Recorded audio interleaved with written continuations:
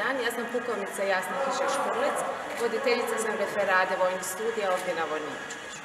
Hrvatsko vojno učilište u suradnji sa Zagrebačkim sveučilištem koje je u biti nositelj sveučilišnih studijskih programa ovdje u Zagrebu e, nudi preddiplomski studijski program vojno inženjerstvo, preddiplomski studijski program vojno vođenje i upravljanje i diplomske studije, znači vojno inženjerstvo i vojno vođenje i upravljanje. Ono što još mi imamo u ponudi, to je studij u Splitu, to je integrirani preddiplomski diplomski studij vojnog pomorstva. E, Kvote ovdje u Zagrebu su za vojno inženjerstvo, e, za vojno inženjerstvo 70 studenata, a za vojno vođenje i upravljanje 40 studenata.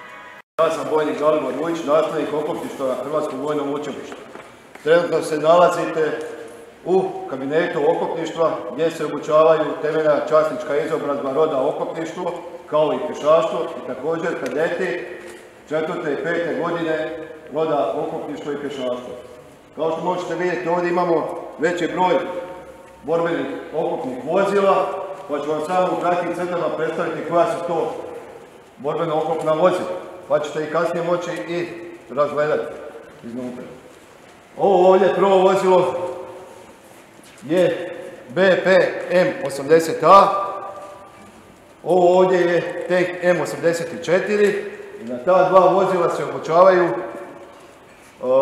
kadeti i temeljna časnička izobrazba roda okopništvu.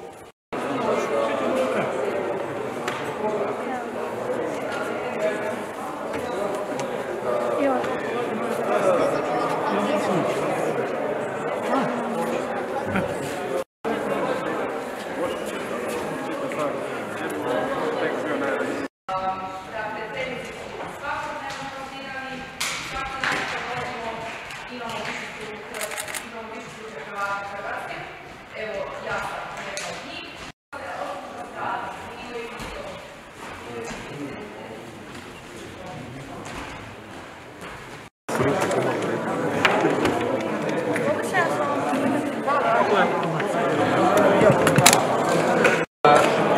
znači prilikom vraćanja pređe preko ovoga i opet luče van. I onda znači kad ti ispali metak, ovdje ti je ova plinska komora. Znači, plinovi